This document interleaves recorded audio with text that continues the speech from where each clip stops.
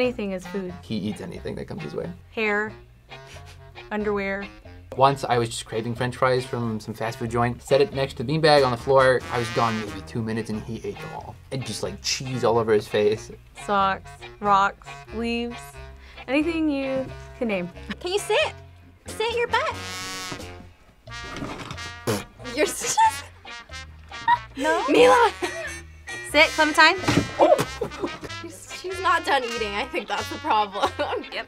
Oh, it's okay. Ah! Oh, all done.